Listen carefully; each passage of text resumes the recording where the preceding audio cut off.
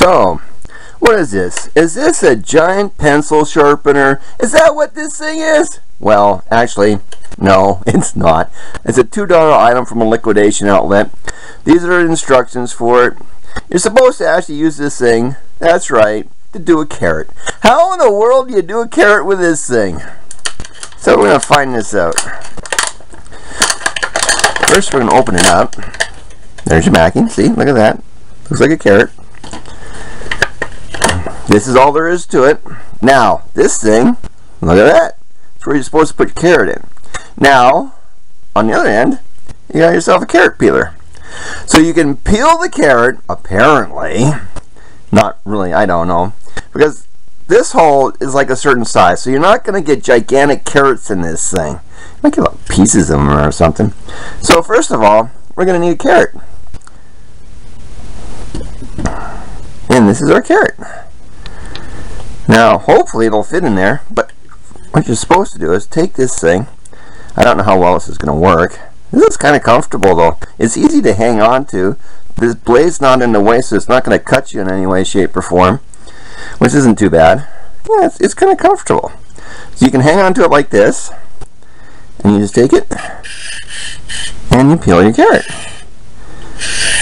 Now I suppose if you had a bigger carrot, you'd probably keep peeling it until it's down to where you want it to be.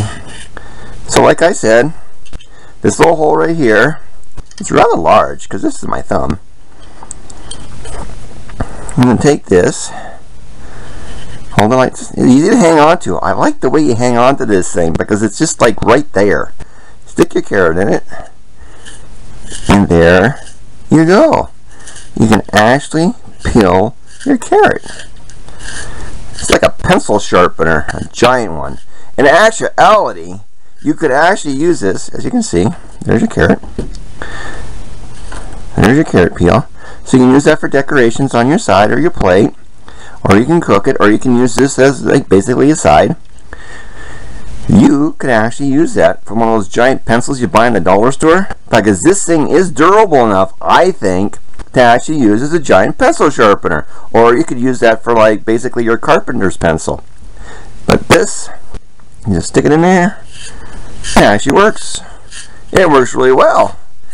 I like the quality of it. I like the fact that you can hang on to it. Like it's really easy to hang on to. This is where you hang on to it. Your blades are not in the way. See, I'm not cutting myself. Well, I hope I'm not cutting myself because it won't slide all over top.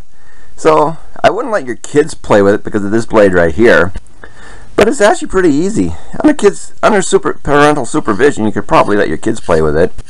It's really easy to use. So actually, for decorating your plates and stuff, if you're like a chef or something, you got some like potential here. And this is like really, this is, I like this. So I'd probably give this thing two thumbs up. This was cheap, as you can see. It only cost $2. Now, it was at a liquidation store. And it works extremely well. So this little puppy right here is a definite pass for me. And I'd say thumbs up.